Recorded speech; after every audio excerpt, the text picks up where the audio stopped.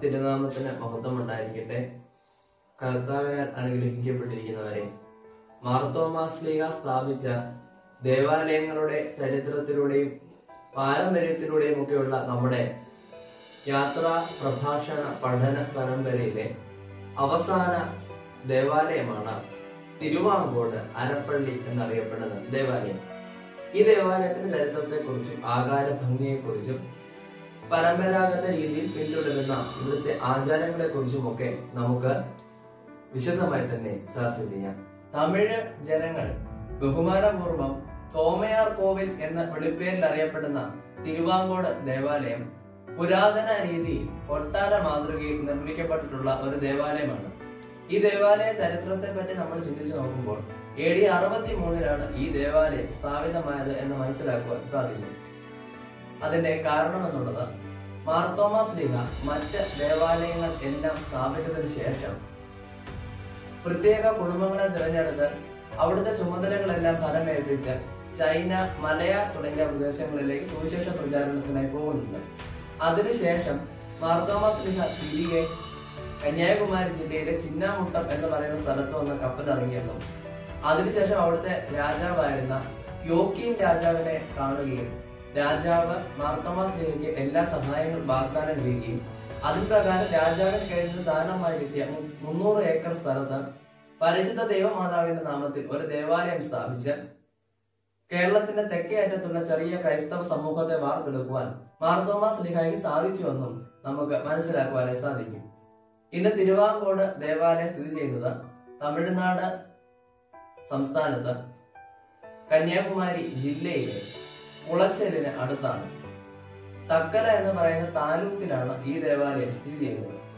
ഈ ദേവാലയത്തിന്റെ ഭരണ ക്രമീകരണം തിരുവനന്തപുരം ഭദ്രാസനത്തിനോട് ചേർന്ന് ഇത് സ്ഥിതി ചെയ്യുന്നുണ്ടോ എങ്കിലും മലങ്കര ഓർത്തഡോക്സ് കൊറിയാനി സഭയുടെ ഭരണ കൈവശമുള്ള ഈ ദേവാലയം യഥാർത്ഥത്തിൽ സഭാ കേന്ദ്രത്തിൽ നിന്ന് നേരിട്ടാണ് ഭരിക്കുന്നത്. ഈ ദേവാലയത്തിന്റെ മറ്റു പ്രത്യേകതകൾ എന്നുള്ളത് തോമസ് ലീഹ സ്വന്തം കൈകൊണ്ട് പണിതതാണ് ഈ ദേവാലയം എന്നാണ് നമുക്ക് മനസ്സിലാക്കാൻ സാധിക്കുന്നത്. അതുകൊണ്ട് തന്നെ ധാരാളം തമിഴ് ജനങ്ങൾ ഇപ്പോഴും ഇവിടെ വന്ന് ഈ കൽ തൂണുകളിലും കൽ ഭിത്തികളിലുമൊക്കെ തൊട്ട് പ്രാർത്ഥിച്ച് ദൈവത്തെ സ്പർശിച്ചിട്ടുള്ള യേശു കുമ്പരാന്റെ വിലാവിനും തൊട്ട് നോക്കി വിശ്വാസം ഏറ്റു പറഞ്ഞിട്ടുള്ള മാർത്തോമ ലിഹയുടെ കരങ്ങളാൽ ഈ ദേവാലയം സ്ഥാപിതമായി എന്നുള്ളത് കൊണ്ട് തന്നെ ഇതിനെ ഒരു പുണ്യ വസ്തുവായി കാണുകയും ഈ ദേവാലയത്തിൽ വന്ന അനുഗ്രഹങ്ങൾ പ്രാപിക്കുകയും ചെയ്യുന്നുണ്ട്. ഇനിയും ഈ ദേവാലയത്തിന് മറ്റ് പ്രത്യേകതകളെ കുറിച്ച് നമ്മൾ ചിന്തിക്കുന്നു. വേണാട് രാജവംശം പിന്നീട് തിരുവാങ്കോട് രാജവംശമൊക്കെ മാറ്റപ്പെട്ട തലസ്ഥാനം തിരുവാങ്കോട് നിന്നും പത്തനാപുരത്തേക്കും അവിടെ നിന്നും തിരുവനന്തപുരത്തേക്കും ഒക്കെ മാറ്റുമ്പോൾ യഥാർത്ഥത്തിൽ തിരുവാങ്കോടിന്റെ ചരിത്ര പ്രാധാന്യം അതുപോലെ തന്നെ അവിടുത്തെ ജനവാസവും ഒക്കെ കുറഞ്ഞു വരുന്നുണ്ട്. അതിനുശേഷം കുളച്ചൽ വ്യാപാര കേന്ദ്രമായിരുന്ന കുളച്ചൽ പിന്നീട് വ്യാപാരങ്ങളൊക്കെ നിലച്ച് അത് ശാന്തമായ രീതിയിലേക്ക് മാറ്റപ്പെടുമ്പോഴും തിരുവാങ്കോടിന്റെ പ്രാധാന്യം അവിടെ കുറഞ്ഞു വരുന്നുണ്ട്. എന്നാൽ നമുക്ക് മനസ്സിലാവുന്നത് പത്തൊമ്പതാം നൂറ്റാണ്ടിന്റെ ആരംഭത്തിലും മറ്റുമായി മുപ്പത് നസ്രാണി കുടുംബങ്ങൾ ഇവിടെ ഉണ്ടായിരുന്നതായും തരീസായികൾ എന്നറിയപ്പെട്ടിരുന്ന ഇവർ പിന്നീട് ഇവിടെ നിന്ന് ചിതറിപ്പാർത്തതായും നമുക്ക് മനസ്സിലാക്കാം. എന്നാൽ അവരുടെ പിൻതലമുറയിൽപ്പെട്ട ആളുകൾ പത്തൊമ്പതാം നൂറ്റാണ്ടിന്റെ ഏകദേശം അവസാന ഭാഗമാകുമ്പോഴൊക്കെയും അവിടെ താമസിച്ചിരുന്നുവെന്ന് കെ വി കീവർഗീസ് റംബാന്റെ പുസ്തകത്തിൽ നിന്ന് നമുക്ക് മനസ്സിലാക്കാൻ സാധിക്കുന്നുണ്ട്. ഇനി ദേവാലയത്തിന്റെ പ്രത്യേകതകളെ കുറിച്ച് നമ്മൾ ചിന്തിക്കുമ്പോൾ പൂർണമായും കരിങ്കല്ലിൽ തീർത്തിട്ടുള്ള ഈ ദേവാലയത്തിൽ അതിന്റെ വാതിൽ പരിശുദ്ധനായ പത്രോസ് ലിഹായുടെയും പൗരോസ് ലിഹായുടെയും രൂപങ്ങൾ കൊത്തിവെച്ചിട്ടുള്ളതായി നമുക്ക് മനസ്സിലാക്കുവാനായി സാധിക്കും. താക്കോലും കുന്തവും പിടിച്ചുകൊണ്ട് നിൽക്കുന്ന രണ്ട് സ്നേഹന്മാരുടെ ചിത്രങ്ങൾ ഇവിടെ നിന്ന് നമുക്ക് മനസ്സിലാക്കുവാനായി സാധിക്കും. അതുപോലെ തന്നെ ഈ ദേവാലയത്തിന്റെ പത്മനായിലെ ചുവർ ചിത്രങ്ങളൊക്കെയും ആ പഴയ തനിമയിലേക്ക് പൈതൃകത്തിലേക്കൊക്കെ വിരൽ ചൂണ്ടുന്ന വസ്തുതകളാണ്. അതോടൊപ്പം തന്നെ മറ്റൊരു ഐതിഹ്യം ഈ ദേവാലയത്തെ കുറിച്ച് പ്രചരിക്കുന്നത് എന്തെന്നാൽ മാർത്തോമാസ് തക്കര വഴി യാത്ര ചെയ്യുമ്പോൾ അദ്ദേഹം സ്ഥാനപ്പെടുത്തിയ കുടുംബങ്ങളും അദ്ദേഹത്തോടൊപ്പം ഉണ്ടായിരുന്നു. അവർ യാത്ര ചെയ്യുമ്പോൾ അവർ വേണാട് രാജാവിനെ കയറി സന്ദർശിക്കുകയും രാജാവ് എല്ലാ സഹായഹസ്തങ്ങളും വാഗ്ദാനം ചെയ്യുകയും ചെയ്തു. അതിനുശേഷം രാജാവ് ഒരു സ്വർണ തളികയും വിവിധ പുഷ്പങ്ങളും ഒപ്പം ഭസ്മവും അവർക്ക് നൽകുമ്പോൾ ഋതുനാമത്തിൽ മാമോദിസ ഏറ്റവരാകിയാൽ ഈ ഭസ്മം നെറ്റിയിൽ അണിയില്ല എന്ന് രാജാവ് രാജാവിനോട് ഇവർ പറയുകയും അതനുസരിച്ച് രാജാവ് ഇവരെ നിങ്ങൾ വിഭൂതി ദരിയ ചെട്ടികളോ എന്ന് ചോദിക്കുകയും ചെയ്യുന്നുണ്ട്.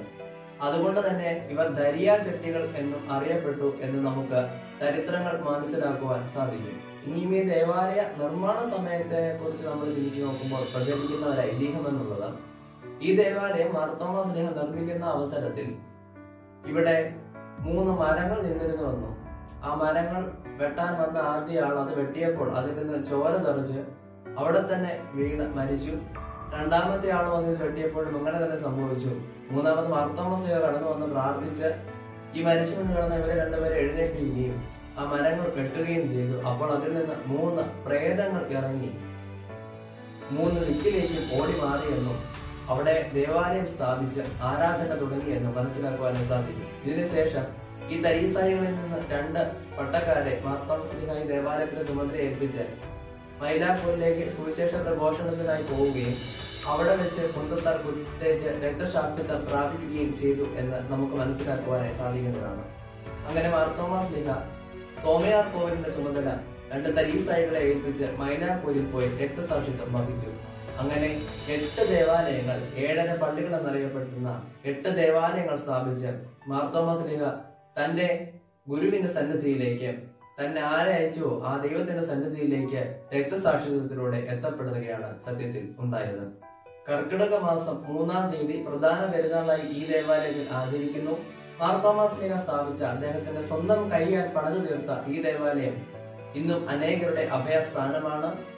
അതുപോലെ തന്നെ തോമയാർ കോവിൽ എന്നറിയപ്പെടുന്ന ഈ ദേവാലയം തമിഴ് വംശജരായ ആളുകളോട് ചേർന്ന് നിൽക്കുന്നത് കൊണ്ട് തന്നെ അവർ ഈ ദേവാലയം വന്നിട്ട് തോമയാർ കോവിൽ എന്ന് ഇവിടെ ഈ ദേവാലയത്തെ വിളിക്കുകയും ഈ ദേവാലയത്തിൽ ശുശ്രൂഷിക്കുന്ന രംബാജുനെ സ്വാമിയാർ എന്ന് അഭിസംബോധന ചെയ്യുകയും ചെയ്യുന്നു. കൽ വിളക്കും കൽ കൊടിമരവും ഒക്കെ ഈ ദേവാലയത്തിൽ നമുക്ക് കാണുവാനായി സാധിക്കും. ഒപ്പം തന്നെ ഒരു പെട്ടിയും പെട്ടിയിൽ തലയോട്ടിയുടെ ചിത്രങ്ങളും അഞ്ച് കുരിശുകളും ഒക്കെ ആലേഖനം ചെയ്തിട്ടുണ്ട്. തലയോട്ടത്തെ സൂചിപ്പിക്കുവാൻ വേണ്ടിയാണ് ഈ തലയോട്ടിയുടെ ചിത്രം. ഇതൊക്കെയും ഈ ദേവാലയത്തിൽ സൂക്ഷിക്കുന്നുണ്ട് ഭാരതീയ തനിമ കൊണ്ടും മാർത്തമ പൈതൃകം കൊണ്ടും അലങ്കൃതമായ ഈ ദേവാലയം ഒരു സ്വാർത്ഥ ലാഭത്തിന് വേണ്ടിയുള്ള ഒരു തൽപര കക്ഷികളാൽ തകർക്കപ്പെട്ടിട്ടില്ല എന്ന് നമുക്ക് മനസ്സിലാക്കുവാൻ സാധിക്കും. മാർത്തോമ പൈതൃകം ഉയർത്തിപ്പെട്ടിരിക്കുന്ന ഈ ദേവാലയത്തെ സംരക്ഷിച്ചുകൊണ്ട് മാർത്തോമ നസ്രാണികളുടെ കർത്തവ്യം നിറവേറ്റുവാൻ നമുക്ക് സാധിക്കട്ടെ എന്ന് പ്രാർത്ഥിക്കുന്നു. നമ്മുടെ പഠന പരമ്പര ഇവിടെ അവസാനിക്കുകയാണ് മാർത്തോമസിനെ സ്ഥാപിച്ച ഏഴ് അരപ്പള്ളികൾ എന്നറിയപ്പെടുന്ന എട്ട് ദേവാലയങ്ങളുടെ ചരിത്രങ്ങളും നമ്മൾ പഠിച്ചു. അതിൽ ചില ദേവാലയങ്ങളുടെ ചരിത്രം അരക്കുകയോ ചേർന്ന് നശിപ്പിക്കുകയോ അല്ല എങ്കിൽ കാലാന്തരത്തിൽ നഷ്ടപ്പെട്ടു പോവുകയോ ചെയ്തിട്ടുണ്ട്. അതൊക്കെ പുനരുദ്ധരിച്ച് വർത്തമാന നസ്രാണികളായി. ഇന്ന് ആ പൈതൃകം നഷ്ടപ്പെട്ടു പോകുന്ന അവസരത്തിൽ മാർത്തോമാസ് ലേഖയെ സ്മരിച്ച് ആ പരിശുദ്ധ പിതാവിന് മധ്യസ്ഥയിൽ ശരണപ്പെട്ടുകൊണ്ട് നമ്മുടെ ജീവിതത്തെ നയിക്കുവാൻ സാധിക്കട്ടെ എന്ന് പ്രാർത്ഥിച്ചുകൊണ്ട് വാക്കുകൾ ഉപസംഹരിക്കുന്നു. നന്ദി.